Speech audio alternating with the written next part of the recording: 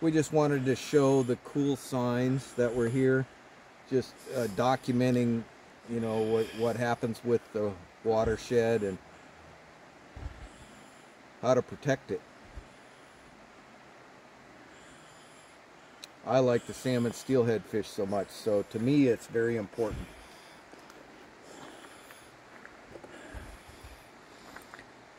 Telling about the different kinds of salmon. Chinook salmon, chum, coho, pink salmon, all in this river. And then my favorite is the steelhead.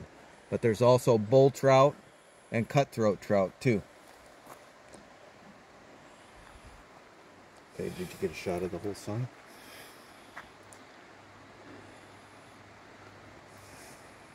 Okay, one more. Do salmon grow on trees? It says yes they do. They depend on fallen trees and on standing forests. And the trees depend on the salmon too because the nutrients contribute to the soil and helps the trees grow.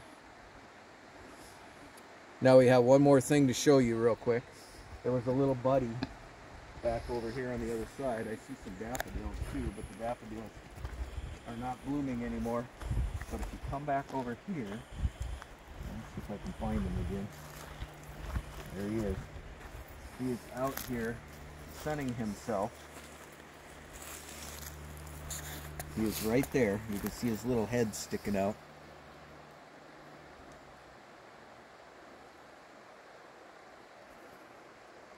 Little garter snake. I'm not sure what type of garter snake he is.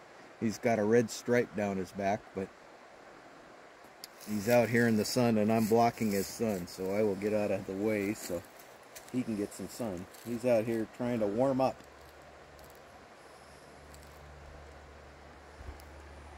Okay, that's it. And thanks y'all for watching.